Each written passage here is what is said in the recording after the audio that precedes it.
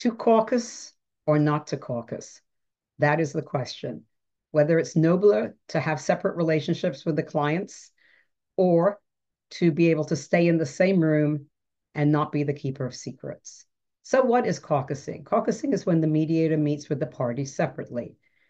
When I'm meeting with clients without their attorneys, I don't caucus much. Usually, I do that in the second session for about 15 minutes. When I have attorneys in the room, oftentimes we're caucusing for most of the session, and I might be shuffling, shuffling or shuttling back and forth between the two rooms. It depends on the situation. Ken Kressel, who is the master of mediation techniques, says that good mediators adjust to different situations, and I believe that's true.